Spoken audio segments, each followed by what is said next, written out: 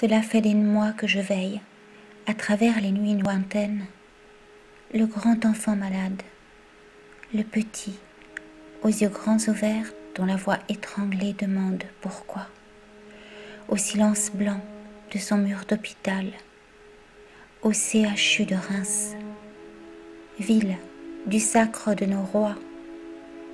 Saint Louis te regarde, nourrissant les lépreux à la table du Christ. Barbe endeuillée de lys à ton chevet, Vincent. Tel un ange aux cheveux enneigés d'attente. Sept longues années au couloir de la mort d'un lugubre service d'accompagnement aux agonisants.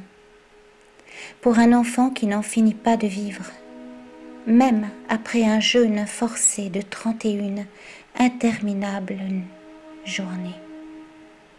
Pleure, s'émerveille et ne meurt pas. Tu es bien vif, Vincent, vif comme la braise de sang et de larmes résistant sous la cendre. Non, je ne me tairai pas, Vincent, et ma voix n'appartient à aucun autre combat qu'à celui de la vie, qu'à celui de la vie hasardeuse et folle qui surgit en dépit des programmes, des calculs, des prouesses statistiques, envers et contre tout, par-delà le contrôle des bases de données génétiques, médicales, éthiques. Petite fleur dont la tige ténue s'élève silencieuse entre les plaques de béton armé d'une colonne de médecins, de juges, de ministres et d'experts. Oui, telle la fleur de l'humanité fêlée mais toute vive, tu ouvres tes grands yeux comme pour boire l'azur infini du ciel. Qui peut oser penser, croire, désirer ou parler à ta place, Vincent, dans l'absence de preuves écrites? Qui? Sinon la vie. Et la vie est pour la vie. Et la vie est l'autre nom de l'amour qui va vers sa lumière, sa lumière qui est l'unique conscience au-delà des connexions neuronales, au-delà de cette autonomie amputée de l'être qui n'est qu'un autre nom du recyclable, de l'énergie humaine renouvelable par le travail, la consommation, la mort. Le vif est en sursis, le vif, maintenu à disposition d'organes sous mort conditionnée, annoncé, provoqué.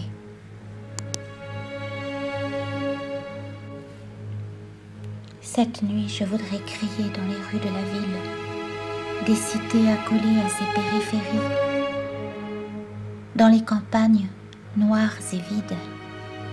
Je voudrais leur dire à tous les endormis, aux sourds, aux engourdis du cœur, Vincent, que tu respires seul, que ton cœur bat et bat et bat encore, triomphant des robots et qu'aucun ne s'acharne sur toi sinon pour t'assassiner, dans un service de soins palliatifs dont le chef est un gérontologue.